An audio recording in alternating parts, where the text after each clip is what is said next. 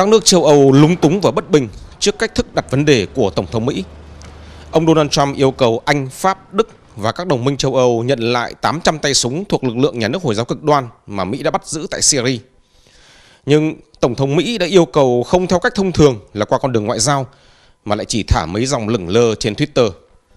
Chính phủ các nước châu Âu biết tin này còn sau cả báo chí.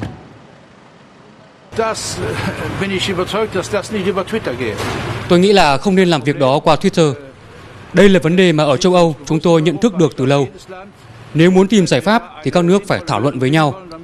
Yêu cầu bằng mấy dòng Twitter thật là vô nghĩa. Thông điệp của ông Trump, các nước châu Âu thấy khó chấp nhận cả về hình thức lẫn nội dung. Những năm trước đây, hàng ngàn người mang quốc tịch châu Âu đã rời bỏ châu Âu tới Syria chiến đấu dưới lá cờ của lực lượng khủng bố. Nay lực lượng nhà nước Hồi giáo cực đoan bị đánh bại, những tên khủng bố vẫn mang quốc tịch châu Âu được đào tạo bài bản về sử dụng vũ khí, thành thạo cách chế bom và đánh bom, có tư tưởng Hồi giáo cực đoan. Mỗi người hồi hương đều có thể là một trái bom nổ chậm trong lòng châu Âu.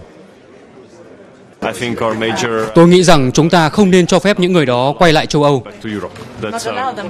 Nhưng có nhiều người là công dân châu Âu mà. Tôi nghĩ một trong những thách thức trước mắt đối với châu Âu là chặn tuyến đường Tây Ban Căng, tìm mọi cách không cho những kẻ đó quay lại châu Âu. Thách thức đó phải thực hiện bằng được.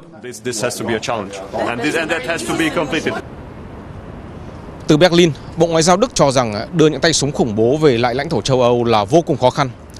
Đức muốn thảo luận với Pháp và Anh tìm cách thức chung cho toàn bộ các nước châu Âu. Nếu nhận công dân của mình về thì đưa ra xét xử từng đối tượng ra sao.